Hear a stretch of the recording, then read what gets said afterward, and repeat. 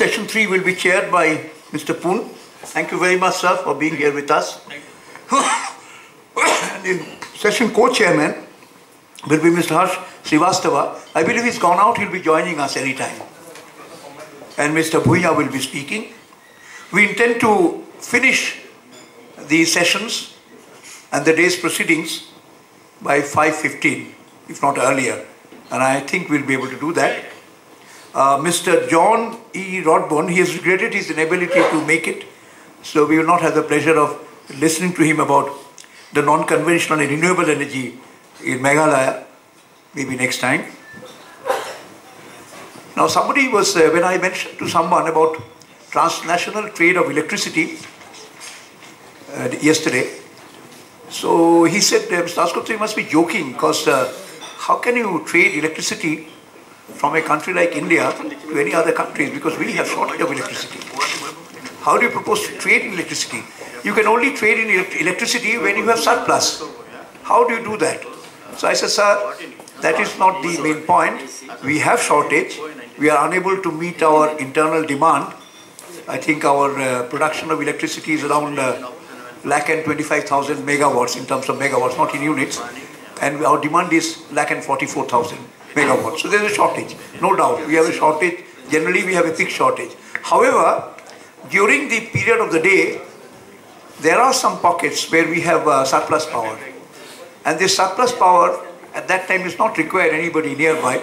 So it can be traded, it can be supplied to other states, it can even be supplied to the neighboring countries. Like for example, power trading. As you know that, for example, Assam, where we are, we're very close to Assam, Assam has a major problem in power during the winter months. It's monsoon months, they have sufficient power to take care of the need. But during the non-monsoon months, there's shortage of power. So naturally, they will have to buy power. And easiest thing is to buy power from the exchange or from the trader rather than setting up your own power plants. And where do they get the power? They get the power from the power traders. So therefore, it exists in India, the power trading in the various uh, states of India Although we have a shortage, but we have a demand, at that time we have a surplus power. Now, similarly, now today we are in Meghalaya, which is a bordering state with uh, our neighboring country Bangladesh. So we can talk a little bit about how we can supply power, we can do transnational trade of power between say India and uh, Bangladesh through Meghalaya. Now we have, you know, this uh, neighboring countries, India has a number of them. On the western side, we have Pakistan. So surely we can do also trading of power between India and Pakistan. As Mr. Dhaul was mentioning, and Pakistan's need, demand presently is about 20,000 megawatts of power, and they produce 14,000 megawatts. And there is a, a, agreement between government of India and government of Pakistan. They're probably constructing a HVDC line to transfer power from India to Pakistan. You also know that already there is supply of power from Chukha Hydro project to India, Bhutan. Bhutan's case is very peculiar. Bhutan, if I show you some chart, you will find that Bhutan has surplus power. Their need is so little, need is down to about 100 megawatts, and they're producing so much of power, so they can sell to India, which they're doing. They're also coming up with a big project of 1000 megawatts. In fact, I was told that one of the main uh, revenue of Bhutan, besides their natural resources like uh, oranges, pineapples, fruits, etc., which they export, is the supply of power. So they get one of the biggest revenue from the supply of power. They have surplus power in that way. Nepal, India also has a link and they're trying to build more links so that supply of power can be made from Nepal to India. And on the eastern side, we have Myanmar and we have Bangladesh. Now, I believe there is also a um, talks going on between creating a link for trading of power between India and Myanmar and similarly with India and Bangladesh. Now with those, I would like to show some slides. I've made a few slides just to help you understand. Uh, just a couple of about 10, 12 slides. So I won't take more than five minutes to finish my talk on this transnational trade of power. Import of import and export of power between countries will result in transfer of electricity from a surplus country or region to a deficit, deficit country or region. So this is the dichotomy. When people say that India has shortfall of power. How do you think that you can create power? You don't have surplus. The answer is certain time of the day and certain pockets we have surplus power. And we can supply it to our neighboring countries. And that balances the deficit and surplus for that particular period. And sometimes it's balancing of costlier power and cheaper power. For example, you know, in, in case of uh, Bangladesh, uh, they have a shortage of nearly 1500 megawatts of power. They have IPPs. I think their total installed capacity is about 4,500 megawatt, whereas they need 6,000 megawatts. So they had uh, floated inquiries for rental power. Now some of the companies like Aggreko and others who are uh, big uh, players in renting their DG sets, renting power, have uh, rented their big, big DG sets. And they are, I think, buying some, I don't know, maybe two, 200 to 300 megawatts of power from diesel power. But it costs a hell of a lot. You know, it's going to cost them, even the Bangladeshis, 15, 16 rupees a kilowatt hour. So it's a very, very costlier power that they're buying. So if they can get power at a cheaper price, cheaper than 15, 16 rupees from a neighboring country, it will help balance the tariff of the power in Bangladesh.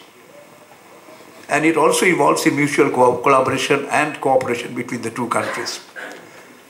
Now for trading of electricity, what is needed is a friendly and political relationship between the two countries. Now, I think we are uh, happy that at the moment our relationship, political relationship with the neighboring countries is as such that we can go for trading of electricity. It is welcome by those countries who have a deficit of power. We have recently been to Bangladesh. Uh, we went with a team and we met the Bangladesh's uh, power secretary, Mr. Abul Kalam Azad, and he was very keen that you know we can supply some power from India to Bangladesh in radial mode. I'll come to that a little later, what Bangladesh and India are doing. But for doing that, not only we need political relationship, friendly relation between the countries, we also need infrastructure on both sides. That means we have to have transmission facilities and we have to link the transmission facilities. And we have to find out the minimum route of uh, sending power from India to Bangladesh. You have to do a lot of survey and find out where your, uh, where can you export power from what is the transmission line that you have there and what is the other side. How can you transfer this power to that side? Can it be done on isolated radial mode? Or otherwise you have to go for HVDC line. So there has to be transmission and linkage facilities between the countries. How will the countries gain? As I mentioned, power deficit will import, power deficit countries will import power from power surplus neighbor. At the moment, I consider India to be a surplus neighbor. And particularly Meghalaya, where we are here today, we have discussed with the Meghalaya government also, they are very keen that they will help in uh, assuring that power can be traded uh, from Meghalaya, through Meghalaya, uh, to Bangladesh, north of Bangladesh, from the southern part of Meghalaya. It can act in both ways, cheaper power exported to costlier power countries. Trade, as you know, I mean, when we talk about trade, naturally we we live on imports and exports. We trade all sorts of commodities between one country and another country. That is the essence of economic uh, growth of a country, economic situation of a country. If we can do trade in all commodities, power is also a commodity, why can't we trade? Why can't we trade? So why can't we have transnational uh, power?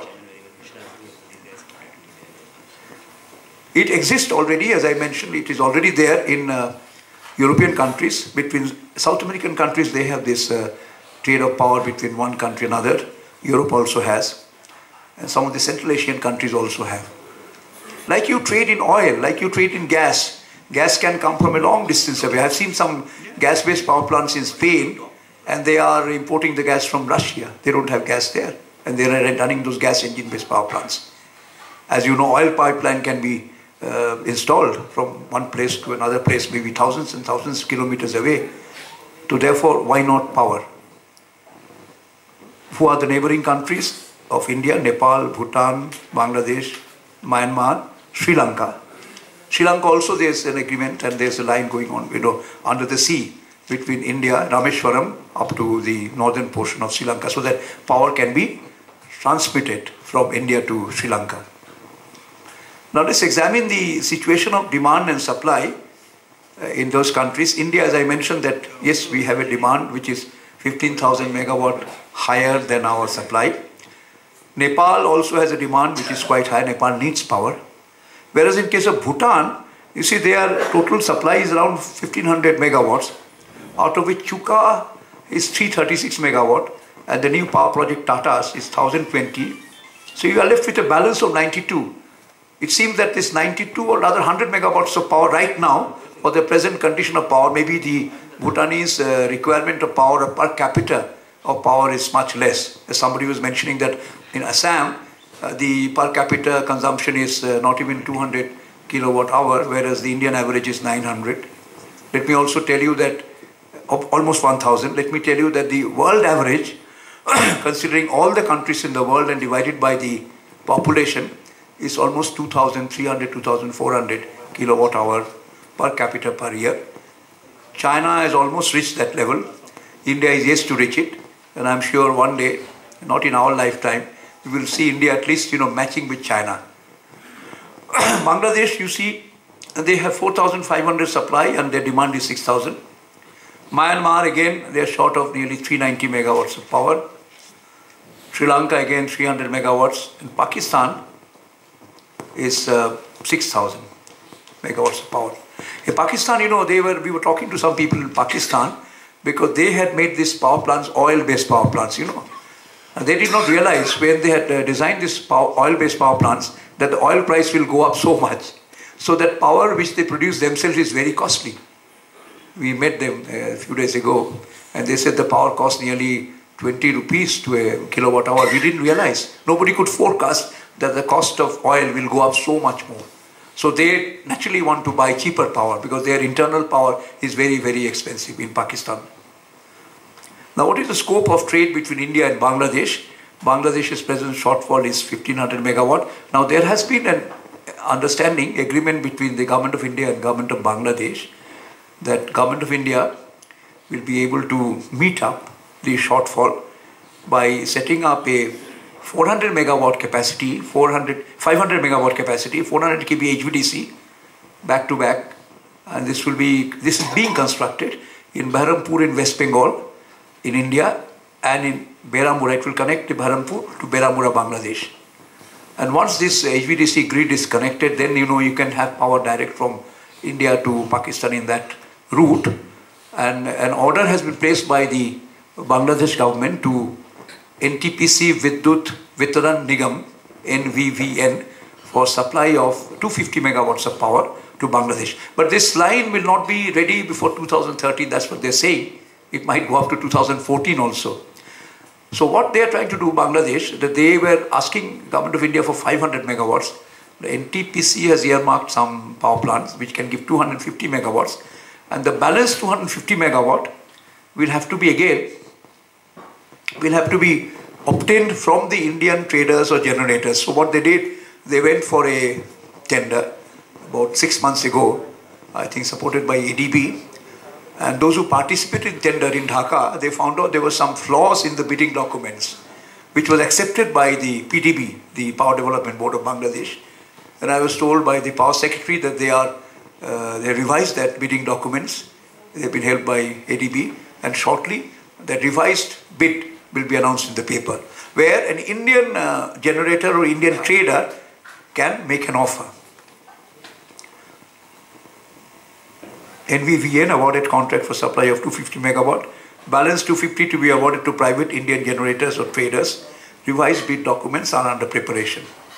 Now there's another quicker solution, easier solution which we have discussed with uh, PDB as well as with uh, Bangladesh uh, uh Grid Corporation of Bangladesh. Like, you know, we have here Power Grid Corporation. They also have Power Grid Corporation of Bangladesh, PGCB.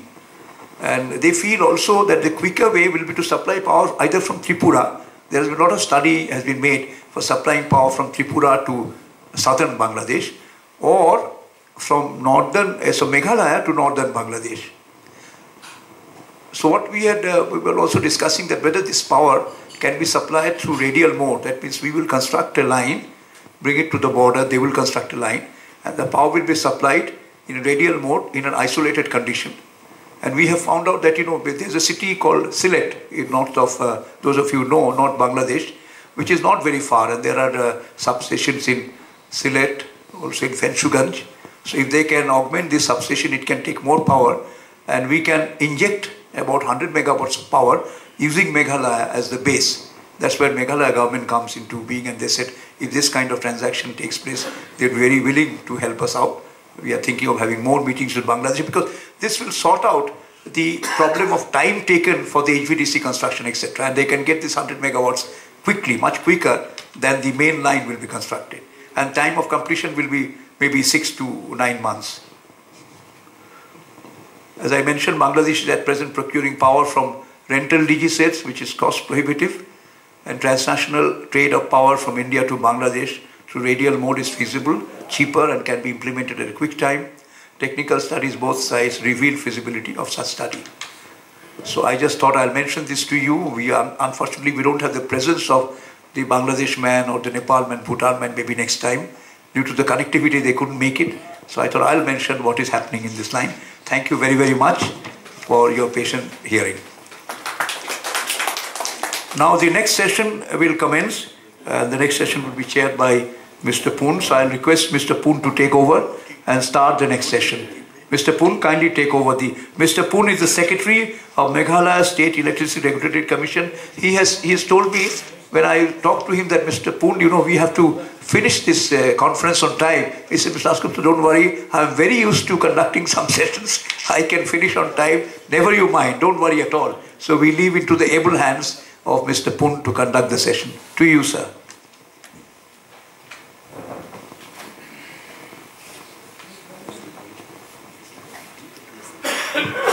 Thank you, Mr. Dasgupta.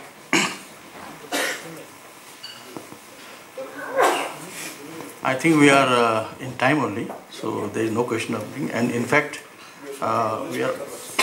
Yeah, there's also there. Plus, uh, I think we have also curtailed that tea break time. So you don't worry, we'll be able to finish. Uh, maybe we'll finish earlier than that. What we have been doing. Uh, we have uh, a few speakers here. But in the meantime, before starting this, uh, I would like to welcome everyone who has come from outside, from uh, all the northeastern states, uh, utilities. Uh, there are also, I think, uh, power developers, the commissions, from different commissions from northeast who are present here. I welcome everyone. I uh, when the IPPAI approached us, the Meghalaya State Electricity Commission, in the morning session, when my chairman said that he had a bad experience, uh, I said, no, that happens, there is nothing. Said, uh, some hiccups, we should not uh, think so seriously about it. So when IPPAI come, so uh, they said that you have to support us. We said we provide all the logistic technical support apart from financing. And I think that is the most drawbacks for every one of us, including the state of Meghalaya. Uh, at the outset, I'll also thank Mr. Harry Dhaul, uh, the DG of IPPAI, who has been here. And I had the opportunity to meet him in Goa in 2011 when the regulators retreat was there. He's a nice gentleman, knowledgeable, humorous. He had all the qualities, and I used to call him a Northeast cowboy. He has a very unique distinction. He wears a hat everywhere he goes. I thank him and the team of all uh, IPPAI people who are here. My special thanks to Mr. Ashok Dasgupta, who is the president of IPPI. He's based in Calcutta. It's very kind of him. In fact, last night the additional chief secretary rang me up. I was in one funeral station. And he said that, uh, look, I am these things, you have to step on my shoes. I said, sir, you, what is the size of your shoes? My shoe is less. My shoe is uh, only seven, six. He said, no, no, no. You have to go and uh, chair the session and the things. In fact, this is the session which uh, I was trying to write from beginning. Uh, we had a number of, I think, programs which ultimately I think it took shape last night only. There were three, four programs circulated and as the people uh, backed out or some come in, so we did it like that. The topic uh, this evening uh, for this uh, last session is a very interesting topic. In fact, the issues in policy framework for renewable and usage of coal for power productions. You see, power productions, now it, uh, it is regarding coal and renewable energy. The coal has become very important, uh, as all of us knows. Uh, uh maybe a month back, when the CAG submitted report on the coal blocks.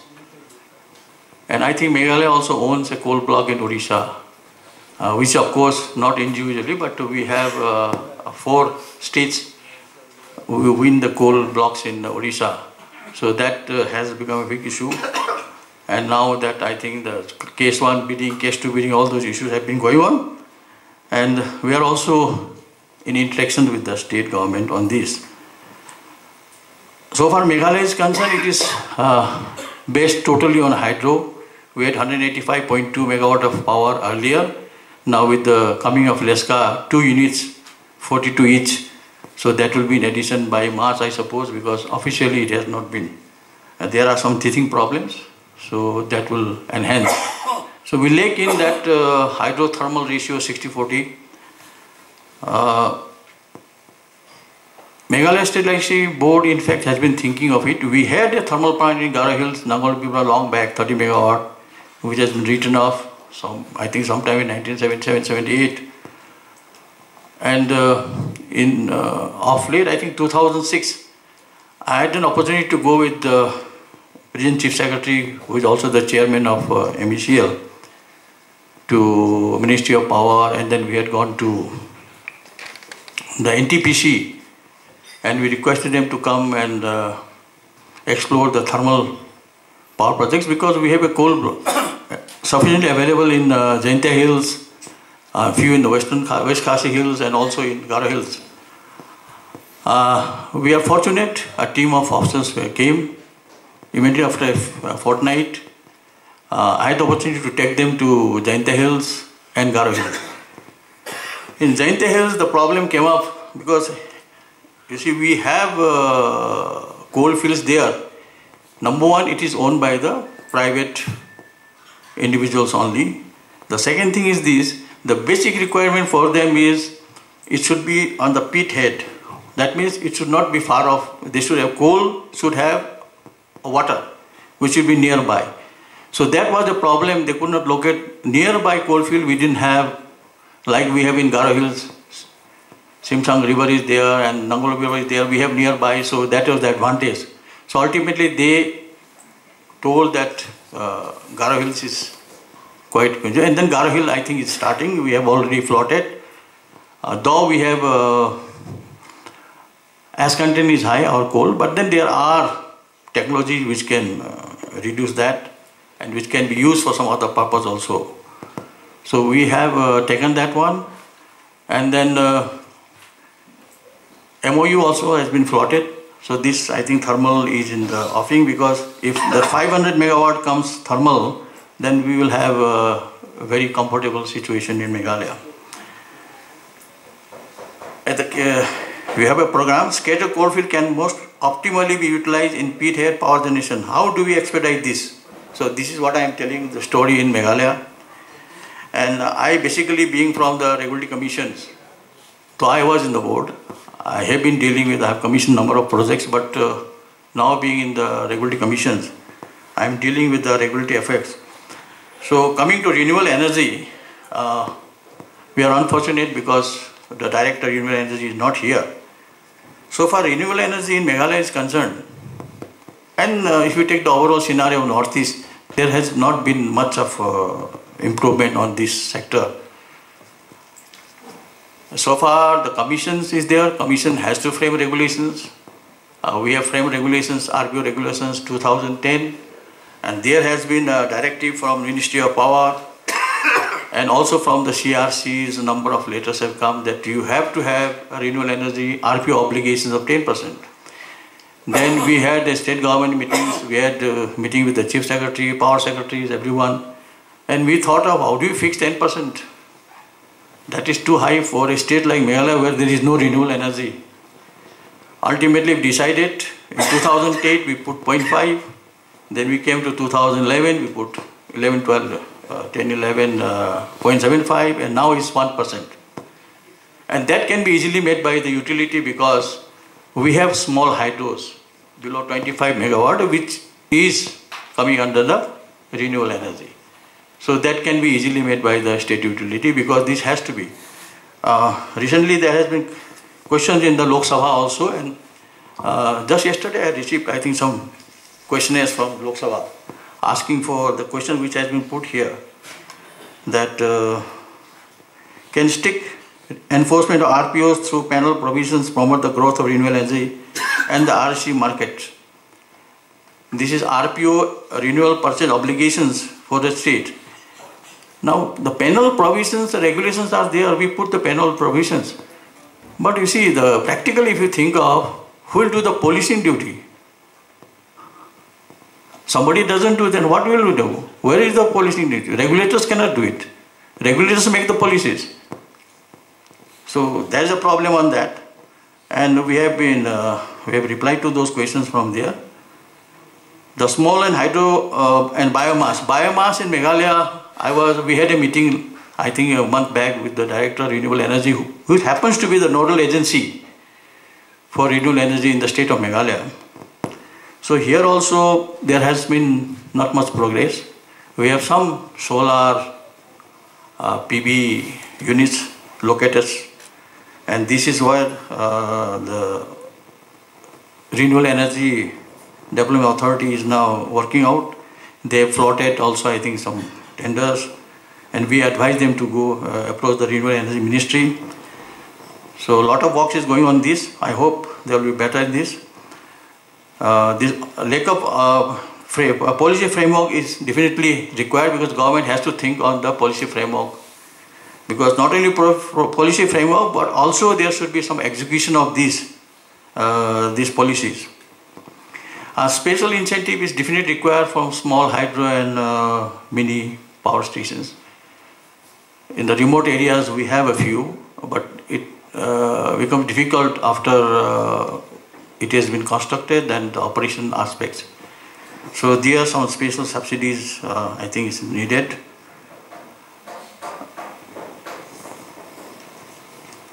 And uh, so far Meghalaya Commission is concerned, it has come into being in 2006 with its first chairman, Mr. Kohli. Then came Mr. Beasley and we, in, during this period, we had, earlier we had a few regulations.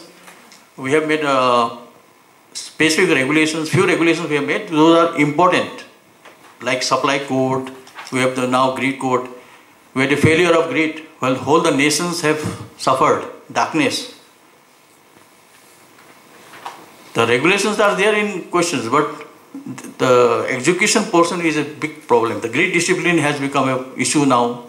There has been high power committee set up by the Ministry of uh, Government of India for looking into those aspects. We have also issued the tariff order. I think we are most up to date because we have issued tariff order right from 2007, 8, 8, 9, 9, 10, 10, 11, 12. Now the next tariff is, was supposed to be filed by the utility by uh, 30th of November, they have sought 15 days time to file the direct petitions. I think we will be looking out to this. So the regulatory, uh, the regulatory commissions in Meghalaya is in the uh, full form. We have got the CGRF, Consumer Grievance Redressal Forums, which looks into the utility, uh, the uh, consumers' concerns. We also have the State Advisory Committee. Uh, we meet uh, quarterly and uh, now at the moment we'll be looking into these aspects. And then the morning session, we have uh, had a uh, long session, about three hours, with a lot of uh, topics has been right from your uh, industry perspective, security perspective, and also there was an issue raised, the threat perspective. Some of the speakers have been talking about it.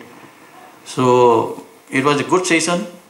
The topics is very vast, in fact. And I must congratulate Mr. Dasgupta for uh, having a marathon session in the morning and I think a lot of things has been covered in the keynote sessions because these topics are very vast. I was talking to him, this coal has become an issue now, is a national issue now.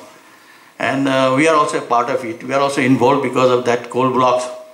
I don't know how we'll come out from that. There's a government to think about it. And uh, we are also floated the renewable energy. These are terms and condition of, uh, is a draft terms and condition of uh, uh, generation of this renewable energy power. This we have already floated in our website. I uh, seek your uh, suggestions because we have a forum where a lot of uh, expertise are here. So if you can send your comments, suggestions to the commissions, then we'll be very obliged. We'll look into that. And uh, we have uh, extended the time for receiving the comments. And then we'll be calling public uh, hearings.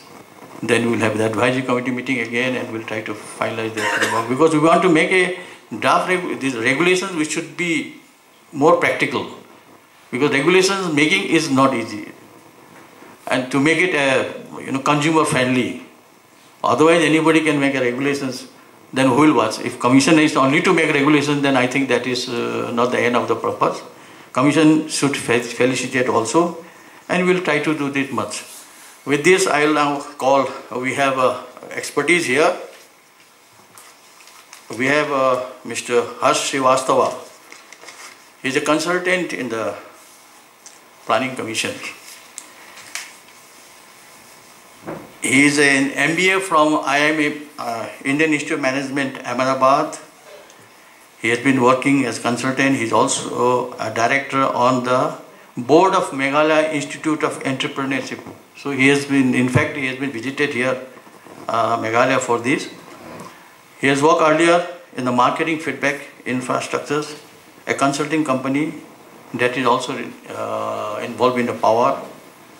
Uh, he is also involved with the Confederation of uh, Indian Industries and the Prime Minister office. So he is a very important person, no doubt. So I believe that he will uh, uh, enlighten us with the planning commission's uh, things and also give us enlightenment on this. Uh, so far, Northeast is concerned, what are his perspective in the 12th plan because he is involved with this. I'll invite him. Uh, he can take whatever time you want because we are still uh. Thank you.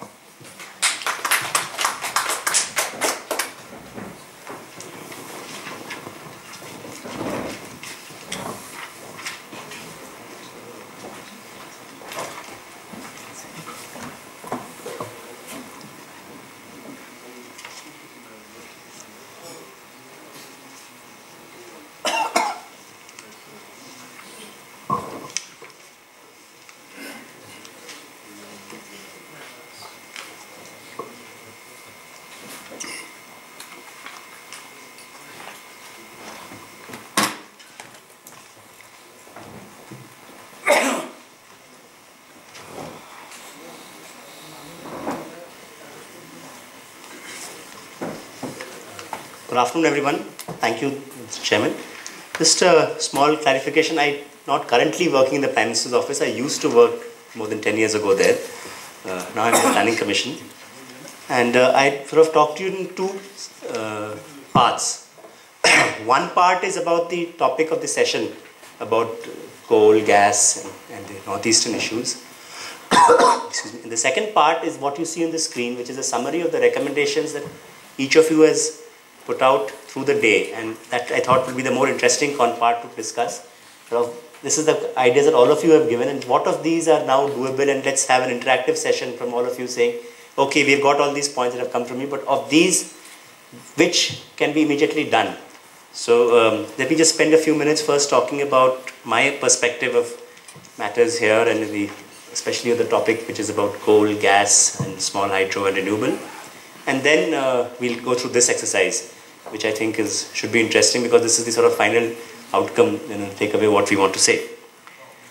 Okay, um, so, you know, from the Planning Commission and from my personal understanding, the you know renewable energy and the amount of you know uh, effort and time that is devoted to it, and the you know number of conferences that are held and documents is important, but it is not really the most important thing our country faces. You know, for a long time to come, you know, renewable energy will be a small part of our total uh, energy fuels uh, supply. And for all the time we spent on it, it's important. And yes, in the few years from now, it will be a bigger and bigger part. And even the Planning Commission has set a fairly ambitious target. but we have far bigger problems today that we need to solve in coal and gas and hydro, uh, which you know dwarf the problems of the renewable energy have. And those problems, you know, are ones which we need to really look at. And it's not really a question of incentives and schemes and subsidies, which we have a lot of really, but we don't, you know, and that's helping the renewable energy sector grow. So in broadly, I'm saying renewable energy is important, but it's not. Let's not spend get too worried about it. Even in the northeast, you know, it is still other sources of fuel supply which matter. Hydro, of course, which is discussed in great detail earlier, so I won't talk about that. Um, and not that I'm an expert on that either. But the other, the broader problems remain of coal and gas. And in these two, uh, just looking at surely as a this problem of the fuel supply, they come to two parts. You can break this up. One is where do you get the coal or the gas? And second is how do you move it to the power plant? How do you move it every day uh, if it's coal or gas if it's through a pipeline? So these two issues of where you dig it out from uh, or uh, you know get it from and how do you move it is the challenge that we need to fix and the northeast in particular you know which has traditionally had problems of transportation connectivity and others. How do you get coal and gas going for the power plants that you want to have? You know so the challenge of mining will where do you get the gas from for instance? It's either tripura or bangladesh. And so how do we get you know move the gas out? Even if we bought the gas uh, from the spot market if you like from bangladesh how would we move that gas? What about the challenges of pipelines and world over, gas pipelines are a fairly contentious subject for political reasons across Europe or in, if you look at um, the Middle East or Turkey or if the pipelines, gas pipelines always cause problems or the Caucasus. So here also, of course, there's problems. So, you know, that's the point about movement of gas. And then there's the challenge of coal. that coal, yes, you move coal by train up to a certain point, but after that you have to move it by road. And, you know, if you have to move every day truckloads of coal up to power plants wherever they are, then you know the local citizens are unhappy. There's pollution. The trucks are seen as an you know intrusion, and you know no one is able to appreciate the benefits of why we've got to have a steady stream of hundreds and hundreds of trucks traveling up the highway every day. You know, without which everyone else will be in darkness. So this challenge of uh, the Northeast faces a particular challenge of how do you bring people's support for the first the mining of fuel supply and in fact, one of the points, the mining of fuel supply that we missed is uranium, which is also in Meghalaya, and the you know, challenges of mining of fuel. And then, even if you don't mine enough fuel here, the movement of fuel, of fuel sources. And that political support really is the, and the, the people support, if we cannot bring that, you know, all the conferences and events we have, we cannot, you know, we are just talking to each other. And for this, I think the, the people we should really talk to are political parties because all said and done, it's they who connect with citizens either to make them angry about why this is happening and why you know uranium is being mined or why are these trucks coming or to actually work in a positive sense and say hey it's important for all of us for you and I or you know your family or your business that the lights are on every day. The lights will be only on you know if we allow the trucks to go or if we allow the railway lines to proceed. And of course in the northeast you cannot get the railway lines everywhere. So that challenge is really a political challenge of you know mobilizing political support for the movement of you know the raw material, the fuel for our power plants in the northeast. And uh, you know, so that's the one big thing that I said about getting political support. the second thing that I was talking about was that it is not so important really the uh, renewables it is, but not the most important. But the one thing that can be done and that can be incentivized and we can do a lot more in the northeast and elsewhere in the country is of course demand side management. You know, uh, these those things we're not looking at enough of. You know, and this whole think about megawatts and what's a megawatt. So how do we, you know, get households to you know, get time of day metering or you know even solar panels if it can work. So all of those things we should do as much as we can to promote in the northeast and elsewhere because the challenges of not just erecting a power plant and not just then selling the power and then getting the money paid for the money but getting the fuel every day and not being stranded because of certain either the, there was a landslide or natural reasons or people block the road. So those challenges are something the Northeast particularly needs to face. And you know, while there is a sort of bureaucratic and administrative approach, I for one think that we need a you know an engagement with the political system to uh, reach out to them and get them to be partners in the uh, energization of the Northeast which is not just the energization, one-time energization of the building the power plant and setting the machinery and allowing that to go up to Subansiri or wherever, but a continuous, you know, uh, movement of the fuel. So I think this covers sort of the part that I had to talk about the Northeast. But now let's get to the more this session. I, uh, can you all see the screen, the points put out there? um, I'm not sure how I can make this bigger because it's on PowerPoint, but um, I will read this out to you, and we can actually talk the idea of this, which is the idea that I, we discussed yesterday evening with the organizers, and I thought this would be a more useful way to um, talk about the conference and what means, is that um, we've divided this into three columns as you can see. Industry, state governments in the northeast, and the union government and the associated you know, entities, the railways, waterways, roads, etc. And we asked each of you to fill this form saying, what do you think is the one or two doable things that the each, each of these three categories of you know stakeholders can do in the in 2013 in the in the next 12 months you know which will improve the power situation here which will improve the investment climate here which will improve the attractiveness of fresh investment which will uh, you know sort of deblock the bottlenecks that have you know come up so far. And uh, this is what all of you came out with. So let me read. So what i will do is first i will read the points sector by sector industries and so on and then maybe we can figure out of these what are the top two or three?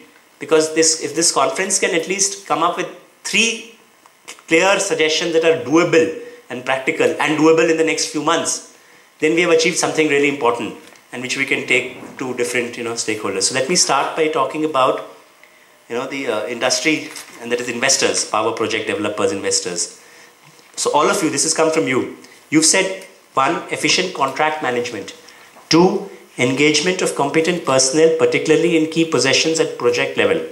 Three, avoidance of cost and time overruns. Four, build healthy relationships with the local public before starting a venture. Five, development of the area to be given more thrust. Educate the people about the benefit of the project, point I was just talking about earlier. Six, long-term vision will be appreciated rather than short-term gain. And seven, the project needs to be planned taking local people in confidence. So from these seven points, I already see some that are common and which can therefore automatically become the number one point that private investors look, which is uh, four, build a healthy relationship with local people before starting a venture. Five, de development of the area to be given more thrust, educating the people about the benefits. And seven, project needs to be planned before taking local people in confidence. so do you agree with me that if you combine all of this into one broad point about engaging more with local citizens and local groups and local stakeholders before the project, during the project, and as I'm saying, even after the project is up uh, and running, is the one thing, doable thing that private investors in the Northeast can do in 2013. Those who are already here can certainly step up their engagement. Those who are planning to be here should start by engaging more with citizens, and those who have things in operation or want to expand should you know work on this. So, is that something that every one of you agrees with? Yes, that. Uh, four, four, five, and seven. Yes, I mean four, five, and seven are broadly saying the same thing. Three are most important point. No, these three actually can be one point, and the number one point. The number one point that um, uh, you know. You do that, things will solve. Okay. Yes, things will solve. You know, if you can do this, and the point that I hold true, and I've been talking to people in the private sector and the investors, to financial institutions and others, that why this is important, why companies should do this is, I give the analogy of uh, when a share issue takes place, when an IPO takes place, the issuing company spends a lot of money on two categories. One is to investment bankers and other regulatory things that they have to pay to ensure that the issue is underwritten. And second, they um, spend a lot of money in advertising you know, for the uh, share issue. You know, you'll see at newspaper full page ads coming out from companies you never heard of and you never heard of hear of again. But during the share issue. So if, if a company is willing to spend 8 to 10% of its IPO proceeds on these two categories, 3-4% on the investment bankers and 3-4% or more on the marketing expenses of the issue, why doesn't the company think of spending 8 to 10% of the project cost on something like this? you know 7 8% or 6 7% may be the rehabilitation costs and the legal payment that you have to make to stakeholders the landowners so that you can equate to the uh, underwriting cost and investment banking cost and then like a company spends 3 4% on marketing the IPO spend 3-4% of the project cost on reaching out to stakeholders and communicating them over and above the payment that you are legally obliged to make, which is the second part. So if you think of it that how important, how much effort and time you make to sell your IPO, you know, make that same amount or in fact more on the project engagement, you know, you would have achieved, you know, uh, certain, you know, less problems later on as well. So I think if you agree that that can be number one or two, then there are some other points that efficient contract management, engagement of competent personnel, particularly in key positions at project uh, level and avoidance of cost and time overruns. Now I think avoidance of cost and time and long-term vision would be appreciated rather than short-term gains. So 3 and 6, avoidance of cost and time overruns and long-term vision, to me seem not very practical and doable in terms of in 2013. These are sort of general statements that one should hope for. But perhaps 1 and 2, efficient contract management and engagement of competent personnel are something that can be done next year.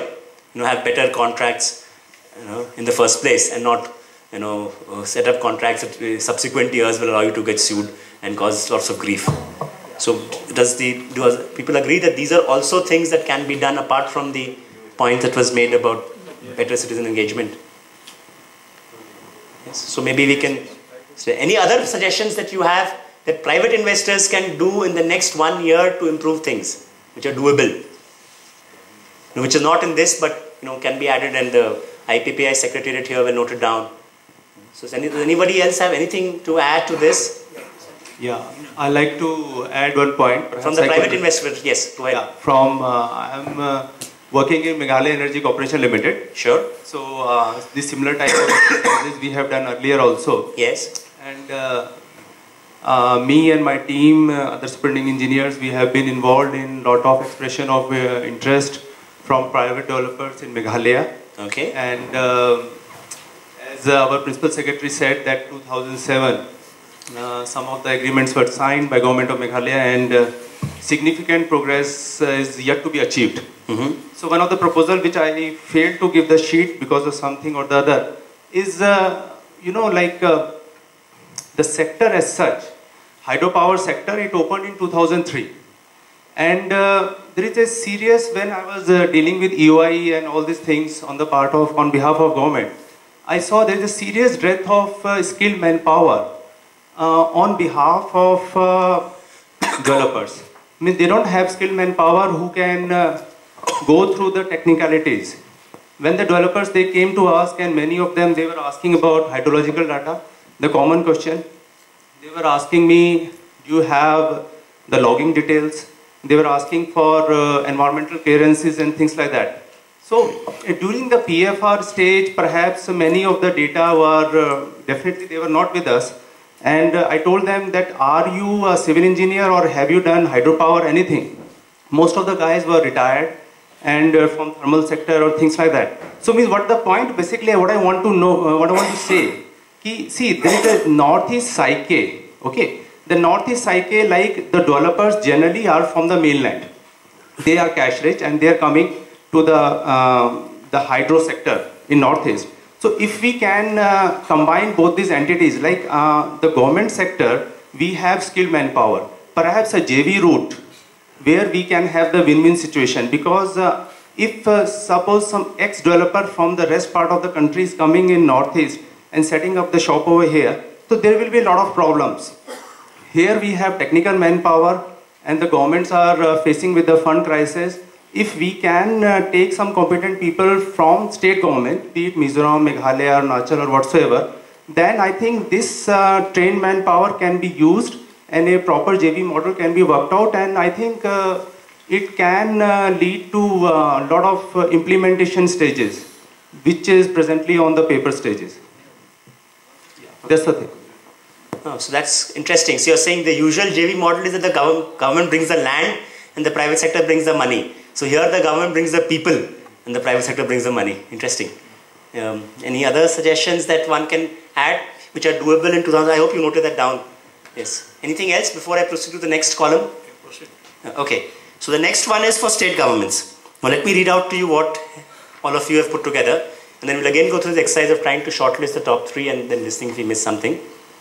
First one is assist in land acquisition including managing local systems practices. Two, ensure law and order at project level. Three, revenue subsidy. Four, infrastructure development. Five, shall be very clear about downstream impact and rehabilitation thereof may be done on priority basis. Six, must ensure ecological balance, employment growth uh, shall be done and shall put emphasis to the developer. Seven, to create special economic zones for industrial development. Eight, set up an empowered monitoring and reviewing committee at state level. Now, out of these eight, from my untrained eyes, I can think that items number three, four, and seven are perhaps not very uh, doable in practical terms in 2013. And these are um, revenue subsidy, uh, infrastructure development, and uh, create special zones for industrial development. Revenue subsidy possible, but you know state governments have very little money anyway, as they claim. So I'm not sure. Infrastructure development is of course a good idea, but what is so specific to be done in 2013? And special zones are again a huge problem. We couldn't set them up anywhere. But that brings us back to five other points. Out of those five and any other points that you may have, let's try and put together a three-point to-do list for state governments. So there were one, which I thought was of course the most important release, um, assist in land acquisition, including managing local systems and practices. So do you rate that as number one? Or do you rate law and order project level as number one? Or uh, shall be clear about the downstream impact and rehabilitation as number one? Or ecological balance and employment growth? Or empowered monitoring and review committee at the state level? What would you consider as the most important thing that state governments can practically and you know, feasibly do starting next year? And then we proceed to the next one. Uh, or, or is, of course, anyone has anything else to add that we missed? So, which of these, because this is not easy to uh, do like the previous one, which mostly clustered around one element. So, the uh, power policy should be the first Sorry, policing? Power policy. Power policy. Okay, so state governments don't always have a power policy. We have, other states are just point out. Okay. So we should have a power policy, each state should have a clear power policy. Alright, so that is of course a doable thing. In one year, every state can certainly, those who don't have a power policy can certainly create their own power policy in the next one year. So yeah, so that certainly we can add that. And then perhaps we can put these points about land and uh, you know the points about ecology, the downstream impact and rehabilitation because these are tasks only state governments can do. And if they start doing this in a more organized way, you know, in a you know, with more effort from their point, not just as something that has to be ticked off, you know, uh, on a to-do list. Here, of course, it's on a to-do list, but at the practical level, it has to be done in a, you know, done with effort, with uh, organization, and to deal with local issues that come. So I think that is really, from what everyone is saying, the number one challenge or number one, number two challenges. And linked to that, maybe we can talk about, you know, either law and order, the project site, or the empowered monitoring and reviewing committee, you know, at the state level. Something, maybe what you're saying is like the government of India is trying to create the National Investment Board, which all of you may have read up. Perhaps you're saying that every state government should create the equivalent, especially for large projects. Maybe that might help too. So if the government of India can set up a National Investment Board, perhaps state governments can follow. Yes, please, go ahead.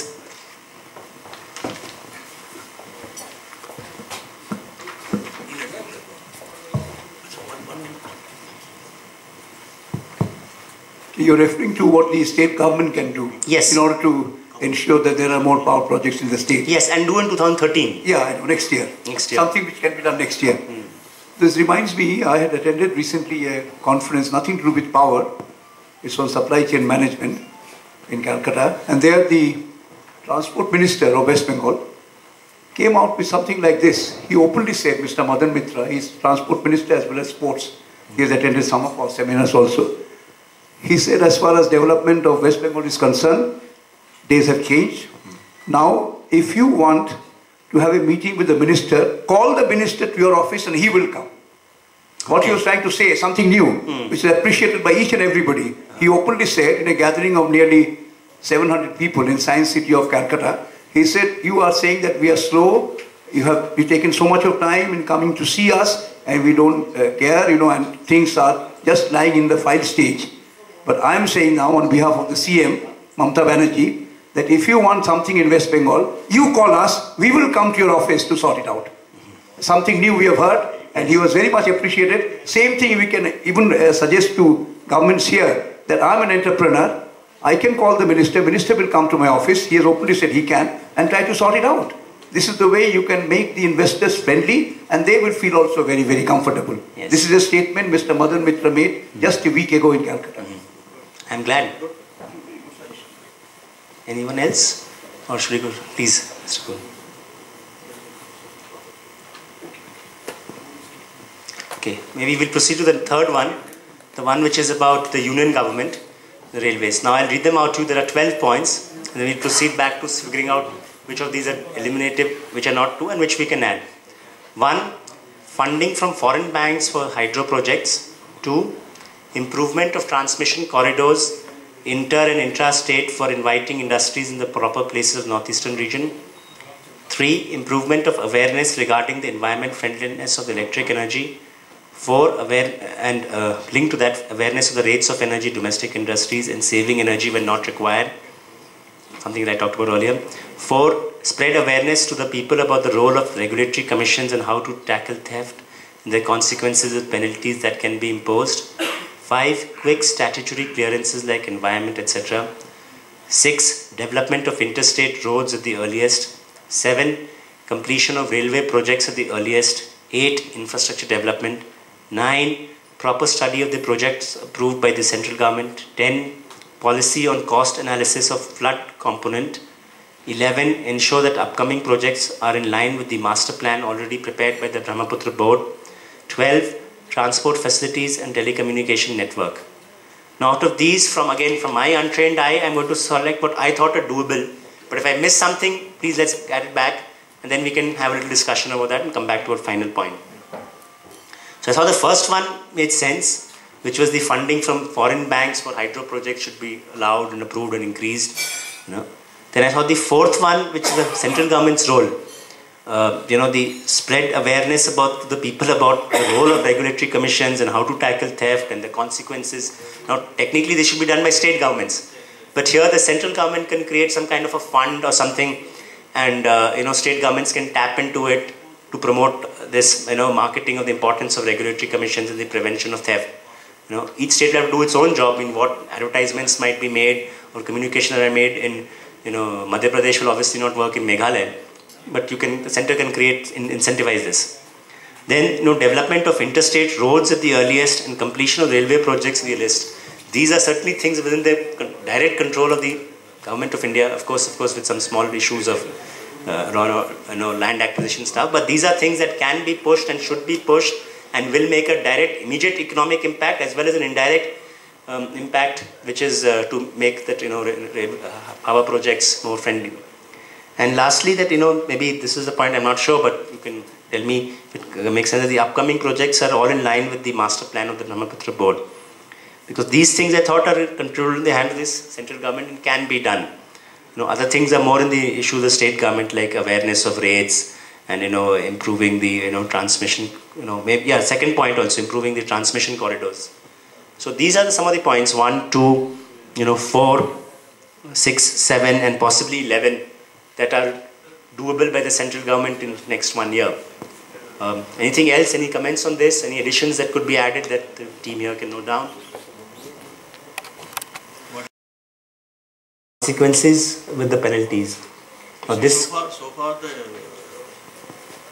existing regulatory commissions, Mhm. see there's already, there's a CGRA, there are, all means are taken, consumer advocacy or by the commission. Mhm. Okay, this and that. And uh, tackling the theft, there are a lot of measures. It's already Okay. there in the scheme. No, this is my understanding of this is that it is not in the legal case. It is can the central government pay for some of this marketing and communication? You know, can it set aside some money from somewhere because it will have benefits to everybody? You know, that the state government can tap into creating the regulatory commission itself because it is in the country's long-term interest. If regulatory commissions are strengthened and there is citizen support for them, and B, theft is reduced. What way the government will compensate this regulating on the theft is a theft, how will you? The government will not. My suggestion, my understanding of this suggestion hey, by the way, who actually made this suggestion? Let that person give this understanding. Let me rather than me trying to uh, figure out what I think this means. Um, so anyway, my understanding was that There are penal actions which is in the regulation. yes. So can there be some kind of a continuous advertising campaign that is used to say don't steal if you steal, and if you steal, this is what will happen to you. what is happening, the commission is doing, this Sure. by the utilities at different level. Oh, Right okay. So it's already been done. It's been done. The only parallel that can one can say is that the, elect, uh, um, the electoral commission of In- the election commission of India runs these advertisements. You know, during the time of before elections, which the government of India is paying. You know that you should go out and vote and please vote and it's a good thing to be a voter and you know have you cast your vote and you know get your friends to. So something similar on that lines. Election commission, Sure. India and regular commission quite different. Different. Okay, perhaps you think yeah, I defer to you. You know, if you know then this matter. So maybe you can drop this if, if you think this is not worth doing. Any other points in the to-do list of the government of India and its entities in 2013 that you think that you heard all this and think we can add to this list? And which are sort of positive points. Anyone else?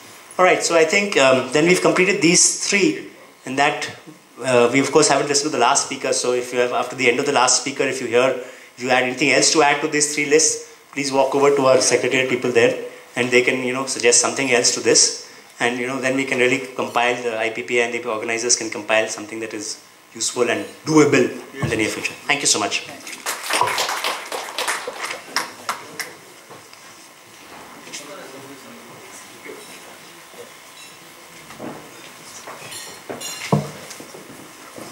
Thank you, Mr. Hars. Uh, it was quite mind-boggling and uh, anybody has any suggestions, they can uh, always contact him after this uh, session also and also when you will have a tea. So now the next speaker is Mr. Bhoya. He is uh, BE in electrical engineering from Assam Engineering College. He joined NEEPCO and he is presenting a paper on development of thermal projects in Northeast. Uh, I'll request him to be more case specific uh, to the point. And after that, if you have any uh, queries, anything also, you can contact him. Thank you.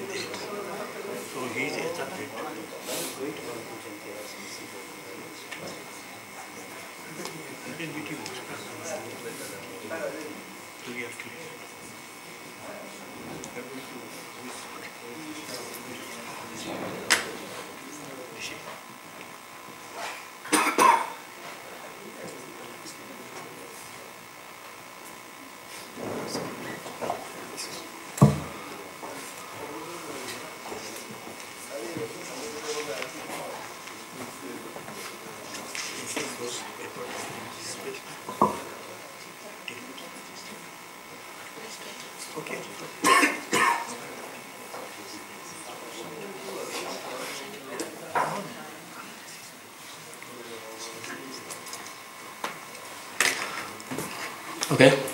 Uh, good afternoon, all of you.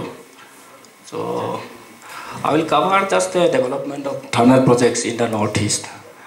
Uh, through this uh, presentation, I will uh, like to give some lights on the necessity of the thermal projects in the Northeast and what is the present status with this PDA. Let's proceed. I will cover, uh, before going to the main uh, requirement of the thermal project development, I would like to make some emphasis of the, what is the power scenario of the Northeast and why it is required uh, development of the thermal projects in this. Then I will uh, cover up some environmental issue regarding the thermal projects and what is the challenges, opportunities, issues on this. And lastly, I will cover the, whatever our NEEPCO is planning in the thermal projects. Uh, this slide shows a little bit about the Northeast. I think everybody is aware of the Northeast, so, so it will be better to skip this one. We are the, everybody knows the Northeast is covered by the 90 98% border with China, Bangladesh, Bhutan, and Myanmar. So I will skip this one and I'll go to the uh, power scenarios. So as on now, our install capacity of the Northeast is 2,450 around. Out of that, our hydro is covering 1200 megawatt. That means about 50% of our power installed capacity is from hydro. Uh, anything? So that means that our uh, thermal hydro ratio is 50-50 almost. So at this point of time, uh, during this winter season, we are really facing a very hardship in the power. So this uh, call for the uh, improvement, the development of the thermal projects. Of course, presently there is many thermal projects is going on. So uh, we need more and more addition of the thermal projects as soon as our other hydro projects is coming up. This slide shows uh, what is the growth of the uh, installed capacity of the India as well as the energy consumption rate. If you can see in the second diagram, this in the northeast the uh, energy consumption is not very encouraging if compared to the other areas, uh, regions of the country. Uh, in terms of per capita consumption, I think uh, earlier speakers also speak on this. Uh, our northeast power consumption, per capita consumption is around 250 in the range. If you see Meghalaya is little bit better, it is a 675 in comparison to all India's 778.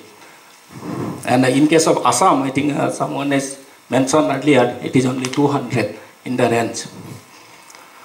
If you see the development of the power project in the northeast, if our target versus achievement, we are uh, far lagging behind, behind it uh, compared to the all India. If you see the in a 11 plant, we can add only 42 megawatt. That is for Meghalaya Leshka projects. Our target was 4,261, only we can achieve only 1%. And this 11 plant, there was no other project, even no thermal project has been added. So from the demand and supply point of view, we required northeast about 10,000 MU in a year.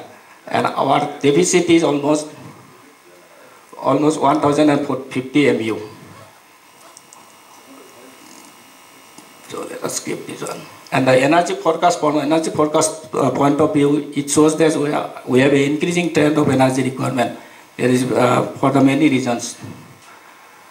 Now let us come to the power potential and I will go to the straight to the, the thermal potential and what we should do on the thermal projects. We have a, in the northeast, we have a hydropower potential. It is uh, almost 58,000 plus we have the uh, hydro potentials. And in terms of coal reserve, thermal projects, we have a coal reserves of almost 950 million tons in the northeast. But our coal-based power project in the northeast, there is no coal-based power project in northeast. One project is coming up in the Bongaigaon. That also going to use uh, maximum of the coal from the outside. And the northeast has a uh, natural gas reserve of about 150 million of uh, gas reserves. So hydro, I have already talked that around 40% of India's hydro potential is in, uh, in northeast. That's why we are calling the powerhouse of the Assam, uh, powerhouse of the India, particularly the Arunachal Pradesh, which, which takes about 85% of the power potential. And let us come to the thermal projects. In, a, in the northeast, presently around 800 plus megawatt installed capacity, is there from the thermal projects. But out of that, around only 730 megawatt is the effective. Because some of the plant, say, in a number, number 5 Sondrapur thermal project, there is no longer. It is totally uh, stopped now. And from the Baramura, Tripura also, there is few units are under shutdown and uh, not generating. Rokhia also same figures. And out of this 830 megawatt plus, uh, NEEPCO is giving 375 megawatt. and that is from the gas project as well, uh, two gas project. And uh, the biggest at present is running is our NEEPCO's 291 megawatt gas project from the uh, Dibrugarh district, Kathalguri projects. And because of the gas problem, we are not able to generate fully from this project also.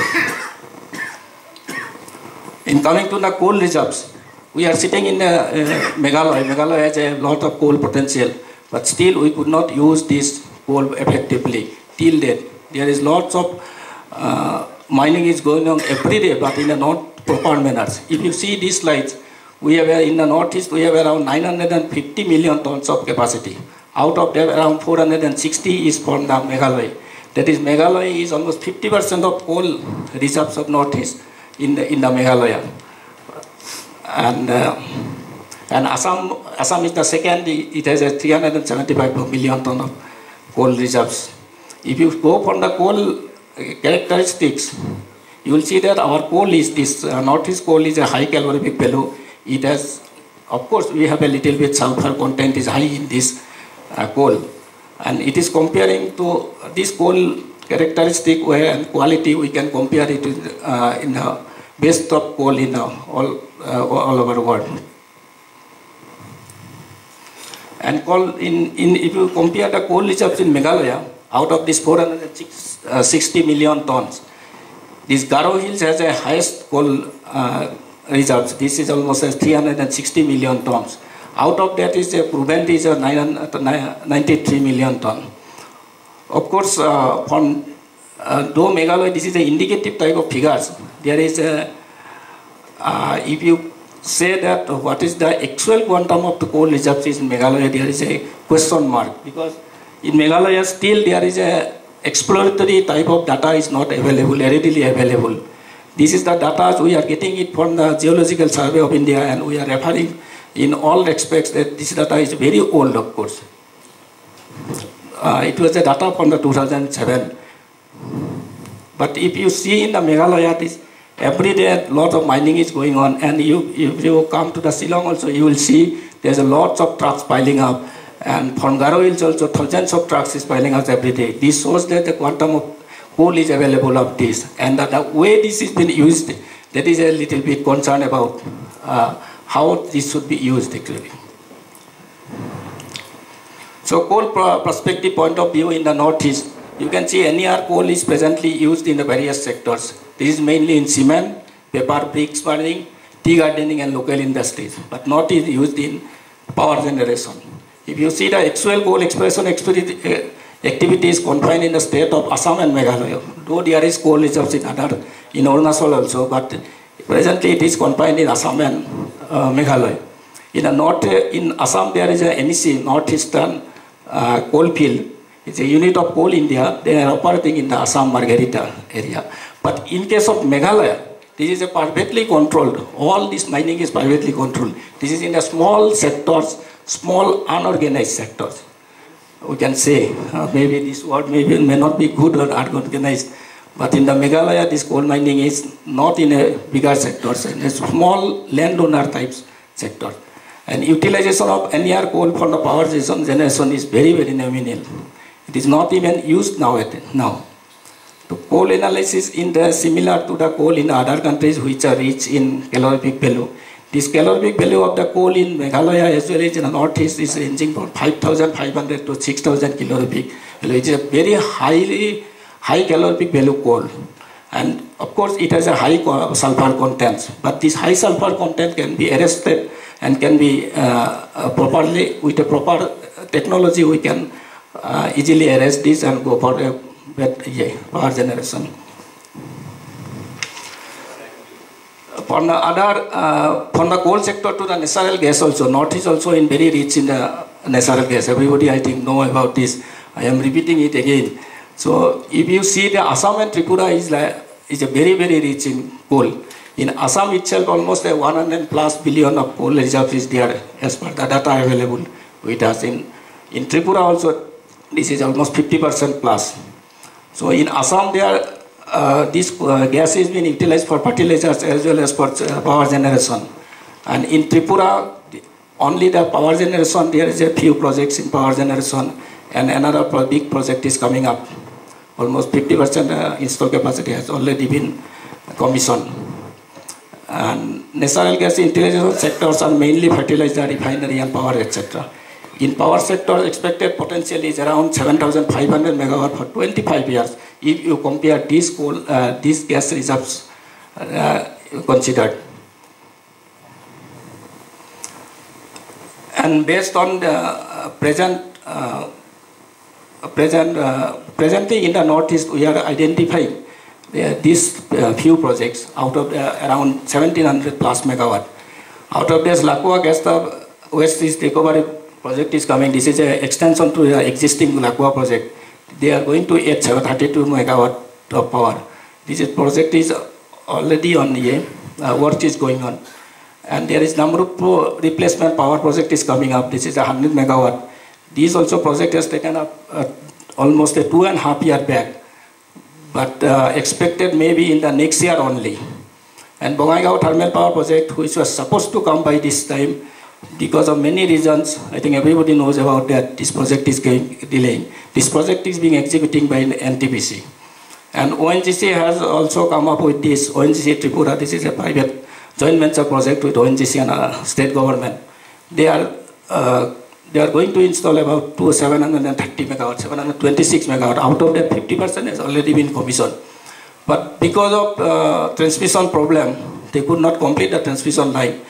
So because of transmission problem, they could not generate in full. That is 363 megawatt. Uh, they have already commissioned. Out of that, in a trial basis, only on the just the 10 days back, they would able to raise up to 250 megawatt for a very short period. And then our this NEEPCO is uh, constructing this 101 megawatt, and we are expecting that this project will come by next uh, middle of next year. And in the same time, we are uh, converting our existing uh, Agartala gas turbine project. This is a presently this Agartala gas turbine project is running on open cycle. This project we are going to convert into a combined cycle project because uh, this project was commissioned long back, of course, 1998 itself. But because of less availability of water, no uh, avail- water was not available nearby, so we could not convert it to a combined cycle. Now we are going to convert it, this project into a combined cycle, not as a conventional uh, cooling system, but we are going to use as a air cool system. So we are minimizing water, so uh, uh, minimizing waters and converting this into a combined cycle project. And our, uh, there is some other planning also. Garo Hills Thermal Project, 500 megawatt. Of course, for this project, I will go some light on this project because this 500 megawatt, NEPCO has entered into memorandum of understanding with us, uh, Meghalaya government. And I think Meghalaya government is also going on this 240 megawatt in the Garo Hills itself by utilizing this Garo Hill coal. And Margarita also there is a proposal of 250 megawatt coal base. Earlier we had some draft agreement also, but this has not been materialized on this point. So going for the development of the power project, we are have to look into the power evacuation also. So we have to uh, build up a better power evacuation system. Power grid is the main player on this uh, evacuation system. Present existing highest level is 400 kV, and there is a future plan is going on on 800 plus HVDC line also. And apart from power grid, uh, for the Palatana project, now this Northeast Transmission Company is executing their transmission system that will connect from Palatana to Bongaigaon. And, okay.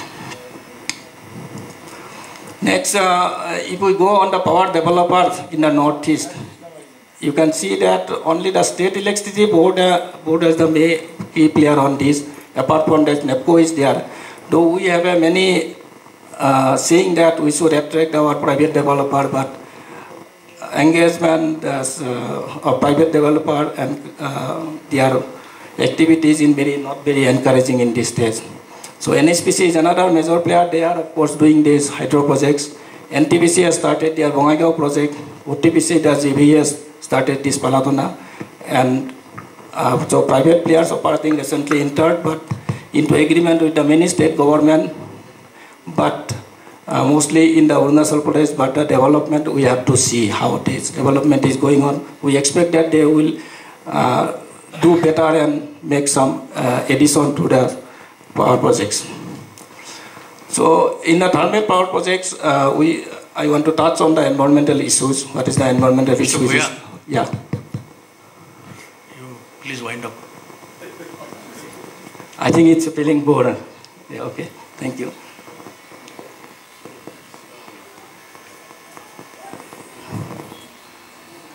Uh, if you want to hear on the Ga- Garo Hills little bit, okay.